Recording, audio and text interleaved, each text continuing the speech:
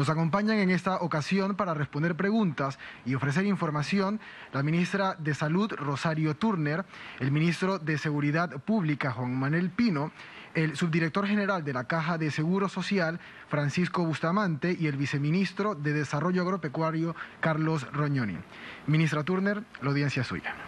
Muy buenas tardes, Panamá. El Ministerio de Salud informa que de acuerdo a los decretos ejecutivos 500, 507 y el aprobado del día de hoy 541, que establece la reactivación de todas las operaciones de movilización de empresas, mantenemos el cierre temporal de establecimientos comerciales tales como cines, bares, gimnasios. Sin embargo, le damos la apertura a eh, empresas como lavanderías, cooperativas de ahorro y crédito, como también cooperativas de producción agrícola y ellas pueden generar sus salvoconductos a través del Ministerio de Comercio e Industria y a través de la Autoridad de Innovación Gubernamental. Reiteramos una vez más que debemos donar sangre. Donar sangre permite salvar vidas, pero en esta ocasión muy especial, el, el poder donar sangre nos proporciona plasma que en este caso puede ser un tratamiento paralelo para los pacientes que tienen eh, condiciones de afectación moderada con COVID-19. Y en este sentido, quiero agradecerle eh, el ser el primer voluntario para donar sangre al ministro Milciades Concepción, quien desinteresadamente nos ha dicho, sí, me sumo a la campaña para donar sangre como voluntario contra la lucha como COVID-19. Además, aprovecho esta oportunidad para señalar que desde el punto de vista epidemiológico, eh, nosotros tenemos ahora mismo no solamente dos, viceministros haciendo el estudio de lo que se estaba cumpliendo en cuanto a la empresa de la minera y tendremos el informe el día de mañana. Lo cierto es que hemos logrado isopar a 42 pacientes con síntomas respiratorios y los mismos van a recibir el tratamiento que requieran desde esa perspectiva. El Ministerio de Salud además en Coscuna viene desarrollando en Panamá Oeste un incremento notable en las actividades para la entrega de mascarillas, gel alcoholado y lavado de manos. En relación al tema del comportamiento del virus, doctora Lourdes, eh, le vamos a dar la oportunidad de que presente el número de casos y eh, si bien es cierto, el total para la fecha de hoy es de 162 casos nuevos. Eso no significa que no tenemos que cumplir con las medidas de quedarnos en casa y cumplir con todas las medidas necesarias de lavado de manos. Doctora Lourdes. Buenas tardes, equipo Panamá. A nivel global, hoy tenemos más de 2.553.000 casos confirmados, más de 176 mil defunciones y más de 679 mil personas recuperadas de acuerdo al informe de la OMS. En cuanto a Panamá, tenemos 4.821 casos acumulados, 162 casos nuevos. En cuanto a aislamiento domiciliario, tenemos 4.094 personas, de las cuales 962 se encuentran en hoteles. En hospitalización tenemos 355 personas, de las cuales 261 se encuentran en sala, 94 en unidades de cuidados intensivos. Para el día de hoy tenemos 141 defunciones acumuladas. También tenemos 231 recuperados por laboratorio.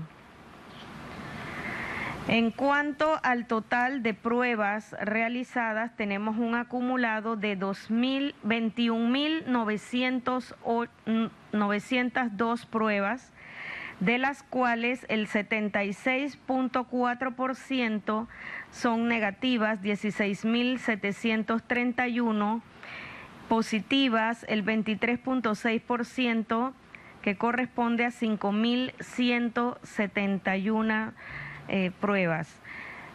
5.119 eh, pruebas por millón de personas. Para el día de hoy tenemos 906 pruebas nuevas. En cuanto al número de casos y de funciones según grupo de edad, tenemos que eh, se mantienen con mayor incidencia en el número de casos los rangos de edades que están entre 20 a 39 años y 40 a 59 años para un total entre ambos de 3.790 casos, lo que representa un 79% del número de casos. Sin embargo, para las eh, defunciones, se va hacia el otro extremo de las edades, en donde los mayores de 60 años tienen un acumulado de 109 defunciones, lo que representa un 77% de las mismas. las áreas geográficas y la distribución en las mismas serán dadas a conocer a través de la página web y el eh, informe del Ministerio de Salud en las redes sociales. Gracias. Doctora Lourdes. El día de hoy hemos resumido la presentación epidemiológica que van a tener acceso a través de nuestras redes, porque los días martes estamos presentando el informe que el doctor Rodrigo de Antonio, conjuntamente con los asesores para contra la COVID, vienen dándonos a el Ministerio de Salud y que gracias a ellos el gobierno nacional es muy creyente y confiado que son las evidencias científicas las que deben guiar la toma de decisiones en el conducir una pandemia, podemos presentarle hoy indicadores de salud pública que son sumamente importantes para evaluar el avance y el comportamiento de la pandemia. Así que, doctor Rodrigo, le agradezco que nos pueda hablar de todos estos datos tan importantes como son el número reproductivo efectivo y una vez más mostrarle con esa transparencia que hemos venido dirigiendo esta pandemia toda la información requerida por la población panameña.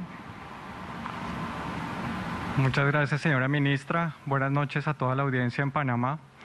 Como menciona la señora ministra, el día de hoy hemos venido adelantando un nuevo análisis de la información de cómo ha venido evolucionando la epidemia de COVID en Panamá. Esto lo estamos evaluando junto con el comité asesor, eh, con los miembros de la OPS y bajo avales de modelos que se vienen adelantando por instituciones académicas internacionales. Para el día de hoy vamos a estar principalmente mostrando eh, el seguimiento que se ha hecho eh, desde el inicio de la pandemia, de la epidemia aquí en Panamá el 9 de marzo. y em, principalmente cómo ha venido siendo la evolución en dos indicadores. El primero, que es el que observan ustedes en esta lámina, es el tiempo de duplicación, es decir, el tiempo que toma el número de casos en duplicarse. Lo que ustedes ven en la lámina en la parte inferior es las fechas desde el inicio de la epidemia y cómo desde que se empezaron las medidas de mitigación teníamos un rango de duplicación que era entre uno y tres días. Posteriormente, luego de que se inició las medidas de supresión, es decir, de la cuarentena, se ha venido presentando un desaceleramiento que lo que observan es las barras en colores que están en la parte inferior y como habíamos hablado en las ruedas de prensa anteriores, la meta inicial era alcanzar al menos 10 días para el tiempo de duplicación. Posterior a la información que presentamos la semana pasada, hemos observado que el tiempo hasta el día de ayer ha alcanzado cifras cercanas al 16 días. Este es un primer indicador positivo que tenemos en la evolución de la curva epidémica para el caso de Panamá. En la siguiente lámina lo que observamos es el acumulado que tuvimos por cada una de las semanas epidemiológicas. Como ustedes saben, la semana epidemiológica empieza todos los días domingos y termina los sábados y lo que observamos fue que la epidemia en Panamá empezó en la semana 11. Eh, y hasta la semana anterior, que es la información que tenemos, eh, por lo que solamente tenemos datos de la semana 17, del día domingo y lunes, hemos observado que tuvimos el mayor número de casos reportados por semana durante la semana 15. Aquí esta información es tomando en cuenta no solamente la fecha en que se reportaron en la rueda de prensa, sino también la fecha cuando se tomaron las muestras, que es un indicador más cercano a cuando las personas se infectaron. De igual forma, como mencionaba antes, lo que se ha alcanzado es un tiempo de duplicación mayor a 10 días es decir, que al final de la semana 16 estuvimos eh, cercanos a los 13.3 días. El siguiente indicador, que es uno de los eh, más importantes para el seguimiento de esta cuarentena, que nos habla de qué tan rápido se está propagando el COVID en Panamá, eh, lo que observan es el número reproductivo que está, es, es la línea roja que viene descendiendo y cómo a partir de la cuarentena eh, nos habíamos puesto una meta de que se alcanzara el umbral que fuera de uno. Desde principios de eh, la última semana epidemiológica hemos observado cómo ese número de RT o número reproductivo efectivo está por debajo de, de uno, que lo que quiere indicar es que inicialmente se está alcanzando un nivel que se conoce como la supresión. Y esto quiere decir que la velocidad en que la infección se está propagando se, empezó como a disminuir, dado que la probabilidad de que un caso contagie a otro va a ser eh, menor aún. Y para explicar un poco esto, hemos preparado un par de láminas que nos, eh, nos, sobre todo nos ponen en contexto a toda la población de por qué es importante esta tasa de infección. Y lo que quiere decir es cada caso contagiado a cuántas personas puede, eh, puede contagiar eh, ese caso índice. Lo que ustedes observan es que cuando llegó el, el virus o tradicionalmente el, cuando llega a un nuevo país, esa tasa de propagación normalmente se ha reportado que está por encima de dos. Y como ustedes ven en la lámina, quiere decir que una persona puede contagiar a dos personas y esas dos a su vez pueden contagiar a otras dos hasta alcanzar una cifra cercana a cuatro. Es decir, que a partir de un mismo caso se podrían generar hasta cuatro contagios y esto es muy importante en la curva, sobre todo en las fases iniciales, porque es lo que conocemos como que la enfermedad está creciendo de una forma exponencial. Como les mencionaba, las medidas de mitigación y de supresión buscan tratar de llegar al nivel de 1. Si podemos devolver eh, la, lámina, eh, que, donde ya una sola persona puede solamente contagiar a una persona y eso lo que hace es reducir la velocidad en que el número de casos aumenta, que en últimas lo que nos genera es un mayor tiempo para que eh, los recursos sanitarios, la capacidad hospitalaria no se exceda. Lo que buscan las medidas de supresión, que es lo que estamos viendo inicialmente aquí en Panamá, es que con todas estas estrategias de quedarse en casa, de las medidas de distanciamiento social, estamos alcanzando un nivel que está por debajo de uno, es decir, que estamos cortando la transmisión de eh, los casos que se puedan generar. Este es un indicador que va a ser muy importante para los siguientes 10 días, porque quiere, lo que tenemos que tratar de confirmar es que realmente nos mantengamos ahí para asegurar que las siguientes medidas que se puedan generar y, eventualmente levantar o alterar sea de una forma gradual que evite lo que se ha observado en otros países y es que haya un nuevo aumento eh, o un rebrote, que es lo que se conoce eh, internacionalmente. Entonces, las medidas van a ser tratar de continuar en mitigación para que solamente cada caso pueda contagiar máximo a una persona. Y es por eso que todavía seguimos presentando y reportando casos diariamente porque todavía obviamente el virus está circulando, pero lo que hemos podido ganar es ganarle tiempo para hacer un mejor uso de los recursos sanitarios, tener mejores tratamientos tanto a nivel hospitalario como en cuidado intensivo y que de esta forma podamos eh, eh, en últimas prevenir, eh, salvar vidas. En la siguiente diapositiva lo que vemos es que tenemos diferencias en los comportamientos por región y estos han sido datos que ha venido compartiendo con ustedes la, la doctora Lourdes, donde principalmente lo que hemos observado es que al comienzo, después de que se reporta el primer caso en cualquiera de las regiones, tiene un crecimiento que es muy rápido, es decir, el tiempo en que llegan desde el primer caso hasta el, hasta el caso 100, la velocidad puede ser más rápida o más lenta, dependiendo las características del contacto, el, seguimiento de las medidas de higiene, eh, el seguimiento obviamente de las medidas de cuarentena pero lo que ustedes observan es que, por ejemplo, para la, semana pasada reportábamos que sobre todo en Darién teníamos un foco que estaba creciendo muy rápido. ¿Y esto por qué es importante? Porque como vamos a ver en la siguiente lámina donde reportamos eh, el número reproductivo efectivo, pero para cada región, este número, este es el que tenemos para esta semana. Y lo que ustedes observan es que si bien la tendencia es alcanzar ese nivel de uno en la gran mayoría, todavía tenemos tres regiones que están por encima de ese valor.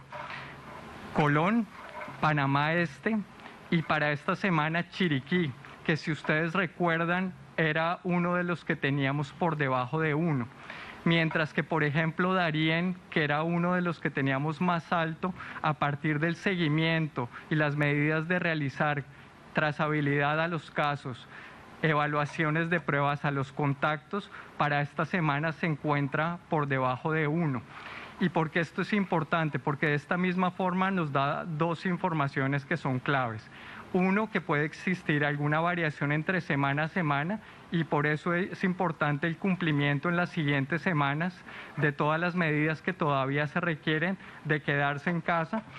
Y para evitar que, como vamos a ver en la última lámina que tengo, es, eh, existan cambios entre una semana y otra. Lo que observan acá en las barras rojas era el nivel que teníamos del RT o del número reproductivo efectivo para la semana anterior y el cambio que ha tenido para esta semana. Los cambios mayores que observamos de una semana a otra fue nuevamente Chiriquí, que principalmente por una cadena de contagios que está localizada se observa que está más alta, mientras que Darién está en, del, otro lado está, está eh, alcanzando el nivel por debajo de uno, es decir, de la supresión. En resumen, lo que observamos con, eh, eh, después de casi cuatro semanas de cuarentena, observamos que hemos logrado el primer objetivo, que era ganar tiempo, eh, evitar la saturación del sistema de salud, tanto en camas hospitalarias como en camas de cuidado intensivo, ventiladores y recurso humano. Esto lo vemos porque hasta ahora se ha alcanzado solamente un 60% de esa capacidad porque hemos logrado aumentar el, número de pruebas que se están haciendo en esa búsqueda de contactos y de, casos sintomáticos. Eh, estamos por encima de las 750 pruebas por, día. Y también eso obviamente nos va a dar eh, algún tiempo para evaluar cuáles serían las siguientes medidas y empezar a pensar en un plan gradual de levantamiento de algunas de las medidas de cuarentena. Muchas gracias, señora ministra. Muchas gracias. Realmente la presentación que ha hecho el doctor Rodrigo Antonio ha sido muy precisa en indicarnos que tener un número reproductivo efectivo de promedio nacional por debajo de uno indica que ese esfuerzo que hemos venido haciendo todos los panameños tiene eh, un reflejo de que cuando unidos podemos eh, establecer una meta para salir a resolver problemas, lo podemos lograr hacer y que se va a requerir que esta eh, cuota de sacrificio sea sostenida porque para poder ir hacia la normalidad del país va a requerir que por lo menos estas cifras que hoy estamos viendo se mantengan por lo menos por 10 días. Y como ustedes han podido ver, son procesos muy dinámicos. Provincias, por ejemplo, como Chiriquí, que no marcaba, con un promedio por arriba de uno y que por, incluso era como una de las modelos, ahora vemos que el comportamiento es diferente, por eso es lo importante que se mantengan las medidas y que se le dé el seguimiento y que todos nos sumamos al cumplimiento. Panameños, hemos llegado a una meta, pero esta meta no es para quedar en ese momento, sino para tener que continuarla y ir hacia la normalidad. Y en base a estos documentos hemos hecho un primer borrador que le hemos presentado al señor presidente Cortizo de lo que puede ser la propuesta del plan estratégico para la normalización del país. Que va a requerir muchas cosas, sí. Va a requerir que cambiemos la cultura de cada uno de los panameños en temas de salud, las competencias de las distintas empresas desde el punto de vista de salud ocupacional, tener mayor equipo de respuesta rápida, mayor cantidad de eh, insumos necesarios como son los reactivos para vigilar a los pacientes. Esos son procesos que tenemos que llevar a cabo porque de esa manera nosotros lo vamos a hacer de una manera progresiva, de una forma segura y no va a ocurrir lo que en otros países que de manera abrupta han tomado la decisión sin un proceso de planificación y que después tienen que eh, tener medidas de ir hacia atrás para poder resolver el número de picos o de incrementos en el comportamiento de casos. Así que bueno, el día de hoy pensamos que estamos dando eh, demostración de que el país unido puede tener eh, grandes satisfacciones y que puede ser Panamá mejor con la colaboración de todos ustedes. Y en ese sentido también quisiera darle la oportunidad al doctor Bustamante para que nos presentara los temas relacionados en tema de la caja del Seguro Social eh, para que tengamos el conocimiento todos estos aspectos económicos y todos los aspectos que se dan dentro de la dinámica de esta entidad del Estado. Gracias, señora ministra. Buenos días, buenas tardes, Panamá. Quiero empezar con una buena noticia. Eh, hoy eh, fue recuperado el hospital de Soná, que había estado fuera de servicio por 40 días por efecto de la contaminación que se dio de tres eh, personas dentro del hospital. El doctor Lau, por eso no está hoy aquí, él ha estado allá atendiendo la apertura y dirigiendo los trabajos para que se reanude la atención en esa provincia y fortaleciendo la capacidad eh, institucional de atender a todos los panameños, no importa dónde estén. Me voy a referir al tema de las recaudaciones. Como todo el mundo sabe, nosotros dependemos, la Caja de Seguro Social, de que los trabajadores y los empleadores, a través de la cuota de lo patronal, contribuyen al, funcionamiento de la, institución. Y quiero mostrarles un poco el comportamiento que hemos experimentado en los últimos tres meses, medidos al 20 de abril. El 20 de abril de febrero se habían recaudado 58 millones el 20 de marzo 84.1 millones y el 20 de perdón, el 20 de febrero 58, el 20, de marzo 84.1 y el 20 de abril 28.4 millones. Es decir, se nota una desaceleración en la recaudación. Esto puede ser engañoso, porque el grueso de la recaudación se da en, los, en la última semana, en los últimos días, por lo cual nosotros instamos a todos los empleadores que cumplan con ese esfuerzo de eh, cumplir y pagar la cuota patronal en la medida de sus posibilidades. Entendemos perfectamente que la desaceleración económica, la cuarentena ha afectado a una gran mayoría de negocios. Por eso es mucho más relevante que en esta coyuntura tan difícil se pueda cumplir con esa responsabilidad y de esa manera la institución puede seguir entregando medicamentos pagando pensiones y manteniendo los hospitales en las mejores condiciones que se tenga que tener. Hemos tenido inconvenientes técnicos y burocráticos internos que nos han impedido poder hacer efectivo el sistema de pago de tarjeta el día de hoy. Con seguridad, confiamos que a partir del jueves los 14.000 jubilados que ya tienen su tarjeta con confianza puedan acercarse a los 295 cajeros automáticos del Banco Nacional o cualquier otro de su preferencia para retirar su dinero. Ofrecemos disculpas, realmente estas cosas están a veces se nos escapan y entendemos y nos sentimos muy muy apenados con nuestro asegurado. Para la próxima quincena esperamos tener solventado todos los inconvenientes que han ocurrido en esta ocasión. En esta quincena estamos desembolsando 60 millones de balboas a los 290 mil jubilados y pensionados distribuidos de esta manera. Por depósito en las cuentas ACH 44.6 y en cheques 15.4 millones. También estamos distribuyendo 30 mil tarjetas de débito durante el pago de esta segunda quincena.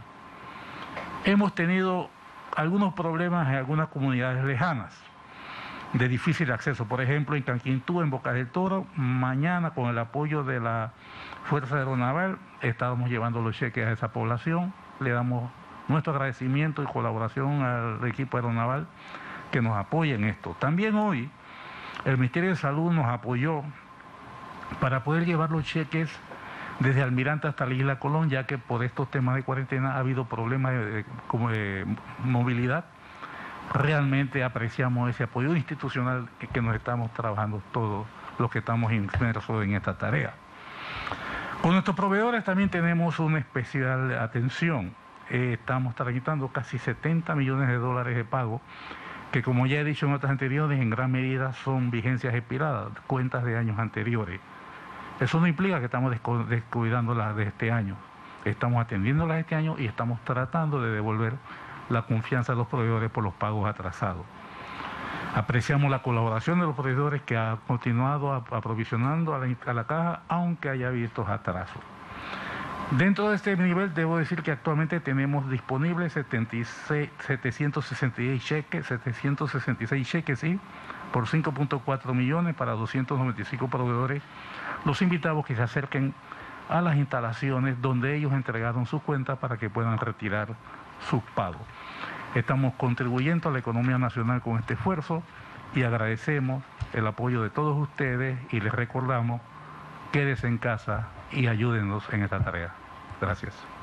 Gracias, licenciado Bustamante. Y en ese mismo sentido, queremos darle la oportunidad al ministro Pino para que nos presente eh, un informe de los avances que se tienen en materia de seguridad, que siempre son muy interesantes esos informes porque de alguna manera nos indican de que cuando hacemos las cosas bien, también se relaciona la seguridad directamente con los resultados desde el punto de vista de avance sanitario. Gracias, señora ministra. La pandemia no detiene el trabajo de la Fuerza de Tarea Conjunta. Como estamento de seguridad continuamos garantizando la ley y el orden. Tenemos resultados muy buenos en estas últimas 24 horas. En Panamá Oeste se registraron dos casos considerables. Un allanamiento realizado en Vista Alegre de Arraiján, donde se decomisó un fusil y una mini UCI.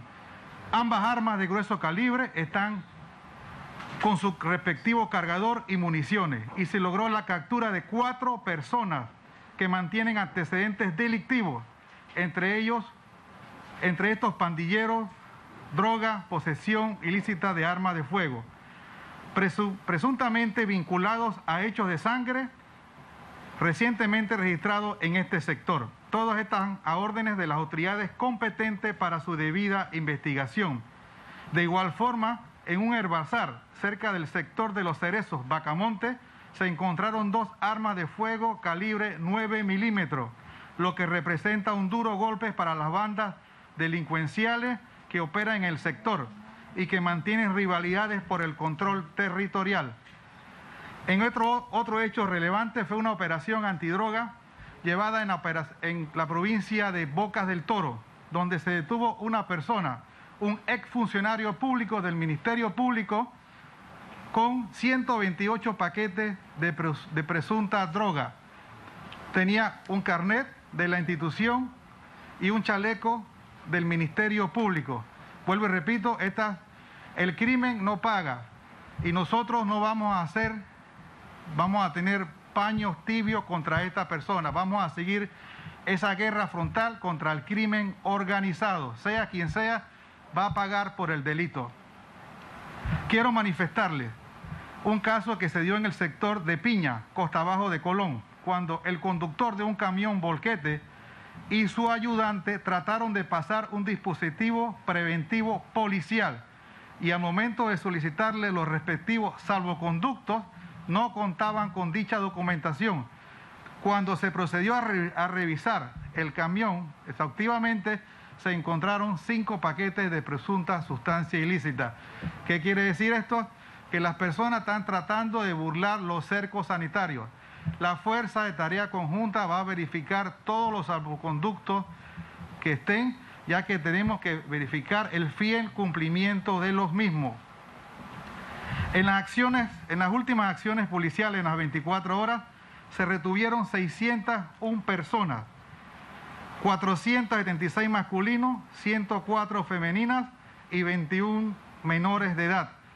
Las cuatro provincias que siguen marcando, Panamá con 181, Panamá Oeste con 152, Colón 67, Chiriquí con 64. Quiero recalcar en esta ocasión que los 21 menores de edad retenidos fueron 5 de Panamá, 5 de Panamá Oeste, 4 de Chiriquí, 2 de Bocas del Toro, 2 de Coclé, 1 de Colón, 1 de Herrera, y uno de los santos. Estamos pidiéndole a las familias que cumplan con las medidas sanitarias para evitar que, para evitar que se prolifere el virus COVID-19. Se trata de luchar juntos, preservar la vida de todos. Como fuerza de tarea conjunta, mantenemos la comunicación con las autoridades locales para coordinar las acciones tendientes a garantizar el cumplimiento del toque de queda y evitar la violación a los cercos sanitarios. Para la tarde de hoy, el director general del Servicio Nacional de Frontera dará una explicación detallada de lo que son el apoyo al plan Panamá Solidario y las acciones que se tiene con los inmigrantes que están en el Darién. Buenas noches a la mesa principal y en especial a todos los panameños que día tras día nos sintonizan a través de esta cadena nacional. El Servicio Nacional de Fronteras sigue trabajando para procurar la paz y la tranquilidad de todos los que vivimos en este país. Y en este sentido, estamos llegando a las comunidades apartadas, como es el caso de Montelirio, provincia de Chiriquí, que está a 544 kilómetros es decir, a más de nueve horas de donde estamos parados en este momento. A la fecha, solo el Senafrón ha distribuido 52.190 bolsas de la siguiente manera. Chiriquí, 8.245 bolsas.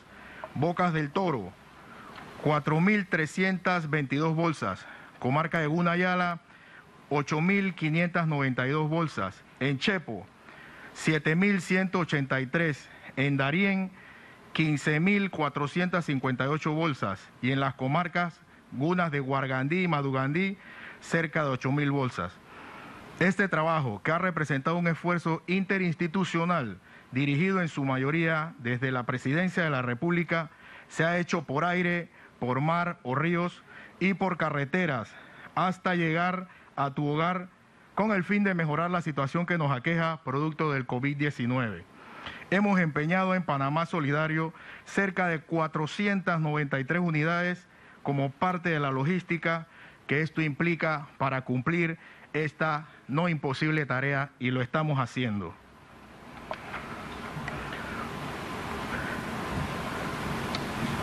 Por otra parte, no olvidamos a aquellos que se encuentran privados de libertad y hemos tomado acciones para mantener y contener la, propagación del coronavirus en los centros penitenciarios de todo el país a través de la desinfección de infraestructuras por parte de la Unidad de Respuesta Inmediata Químico, Biológico, Radiológico, Nuclear, Explosivos y de Armas de Destrucción Masiva, quienes le han dado una cobertura a cerca de 555 mil metros cuadrados en centros penitenciarios como La Joya, la Joyita, Tinajitas, El Renacer, Centro de Menores Basilio Lacas en Colón, eso sin contar a estructuras como el IFARU, el Ministerio de Gobierno, el Centro de Operaciones Nacionales, el cuartel de bomberos Julio Salas, el depósito de medicamentos de la Caja de Seguro Social, entre otros.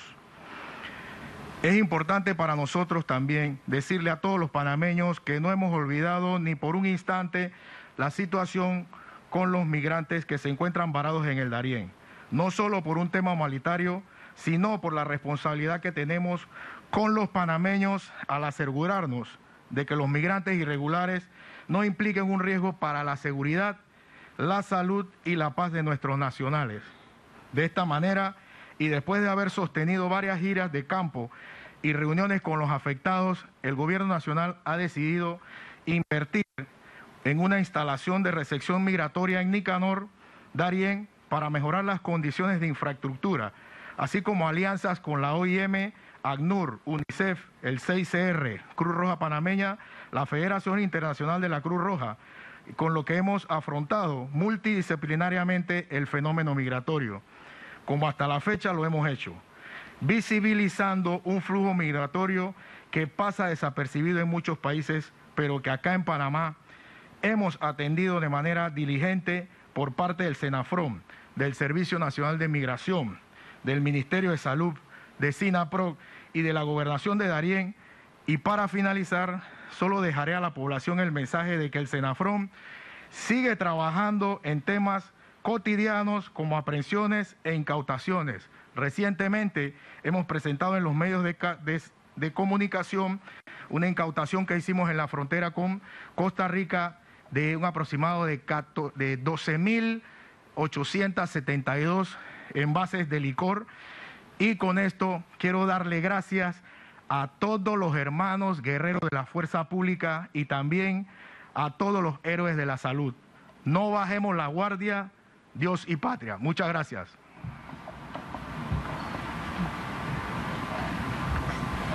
Para continuar, vamos a ver los aspectos de carácter de lo que significa el, programa Panamá Solidario por parte del viceministro del MIDA, eh, Carlos Roñoni.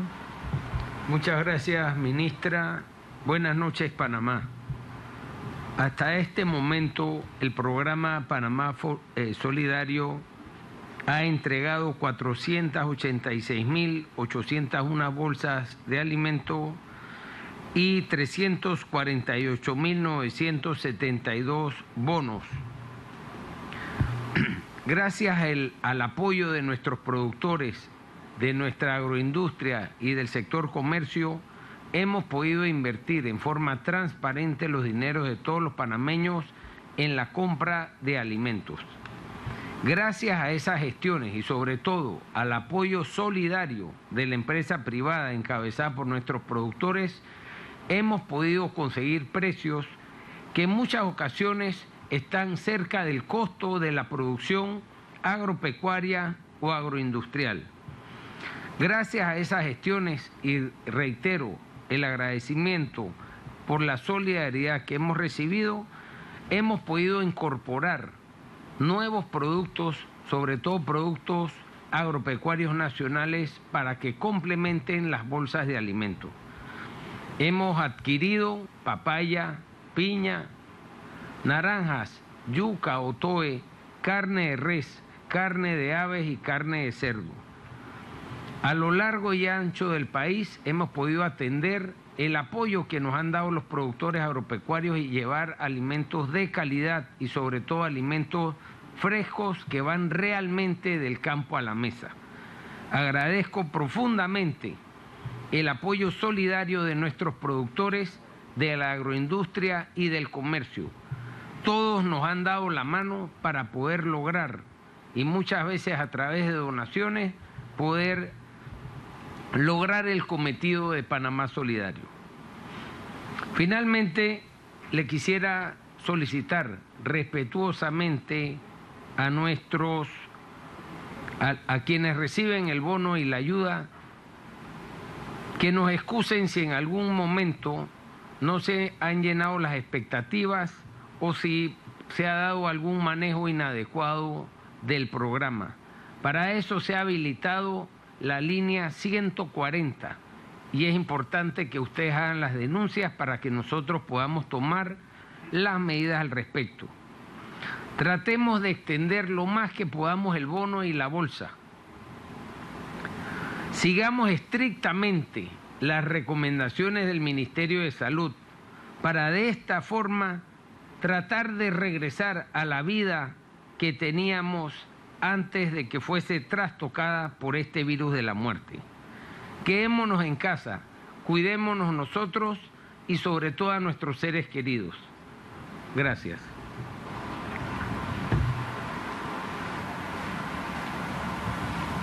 Gracias a los ministros y directores. Ahora pasamos al periodo de preguntas. Iniciamos con el representante de Radio Panamá, Alex Newman. Muy buenas tardes. Se ha hablado tanto del sacrificio de algunos funcionarios como de fondos de ahorro y préstamos con organismos internacionales para hacer frente a esta situación. También en estas presentaciones hemos hablado de números de bolsas y bonos distribuidos entre la población. Mi pregunta sería, ¿con qué recursos tecnológicos, llámese páginas web, redes sociales y plataformas de datos abiertos, contamos nosotros los ciudadanos para ejercer nuestra corresponsabilidad de fiscalizar la inversión que hace tanto el gobierno central como los gobiernos locales y así saber cómo y en qué se utiliza cada recurso del Estado?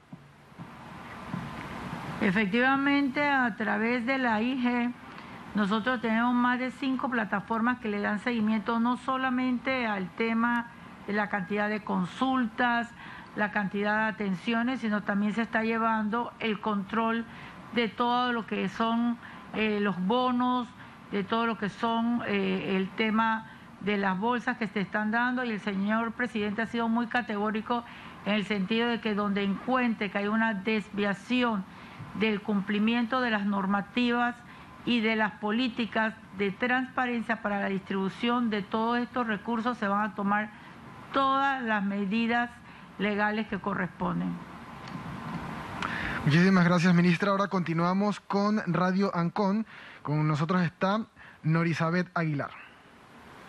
Muy buenas noches a la mesa principal. Ministra, ¿cómo van a saber los padres de los estudiantes de colegios privados que en efecto están certificados y se menciona que en San Francisco se estaban entregando bonos de supermercados. ¿Qué tan cierto es esto? Y si solamente van a ser los vales que ustedes están entregando por gobierno. Le voy a dar la palabra al viceministro Carlos que pueda eh, darle respuesta a sus interrogantes. Sí, gracias por la pregunta. En el, el, el principio del bono y la bolsa es que la bolsa llegue al lugar donde se, eh, se dificulte la compra de alimentos y de artículos de primera necesidad. En, en, el tema de la entrega particular en el corregimiento de San Francisco, se haría a través de bono por tener eh, comercios accesibles dentro del perímetro de ese corregimiento. Ahora mismo nosotros estamos en un proceso para masificar la entrega de bonos y la idea es que se puedan utilizar en los comercios, en las abarroterías que tenemos en nuestras eh, comunidades. Muchísimas gracias, señor ministro. Ahora vamos a las preguntas que nos han llegado a través de redes sociales con el hashtag Yo me informo PMA. La primera persona ciudadana que nos pregunta es Anastasia Droham. Dice, ¿por qué no hacer cercos por corregimientos y así saber qué corregimientos están siguiendo las órdenes del MINSA? Y cuando se realice el toque de alzar la cuarentena, se premian a los corregimientos bien portados.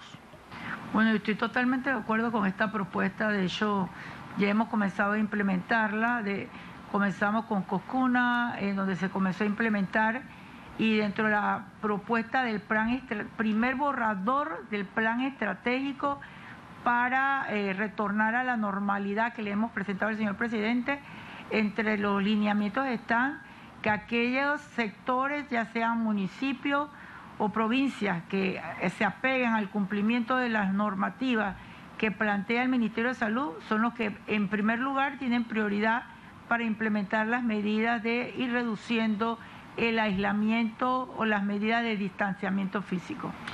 Muchas gracias, ministra. La siguiente pregunta nos las hace Amarilis. Ella nos pregunta, ¿el número que brindan para citas previas de vacuna de la influencia es para la ciudad de Panamá o para todo el país?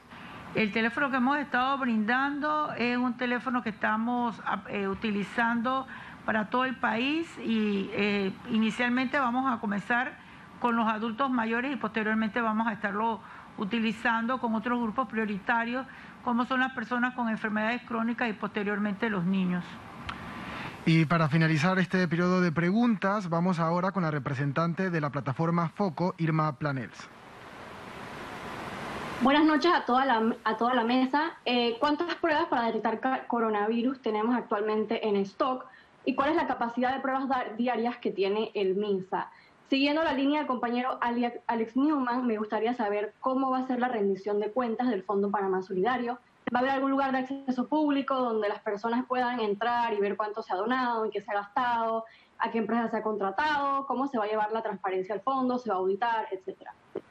En primer lugar, tendría que plantearle que nosotros como Ministerio de Salud eh, estamos llevando controles de todo tipo de hecho, tenemos auditorías que hemos presentado eh, desde el punto de vista administrativo y asimismo el señor presidente ha indicado que se va a llevar en toda la gestión pública. Y también quisiera decir que las, todo lo que la información que se requiere lo pueden usar en las plataformas tecnológicas. Y por el otro lado, quisiera plantear rápidamente que hubo eh, una diferencia en la actualización de la información del DASH con la base de datos del Ministerio de Salud y la diferencia de casos que se han reportado en cuanto a los pacientes que estaban en, desde el punto de vista de eh, que se reportaron 4.094 era porque no se habían actualizado a la fecha del día de hoy. Muchas gracias, señora ministra. De esta forma culminamos la rueda de prensa para hoy, martes 21 de abril de 2020. Agradecemos a todos su participación y sintonía. Que tengan muy buena noche.